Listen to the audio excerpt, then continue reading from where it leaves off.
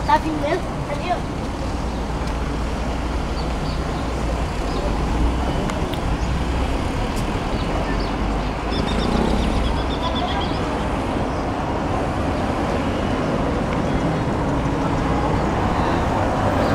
É é corrida da feirinha, hein?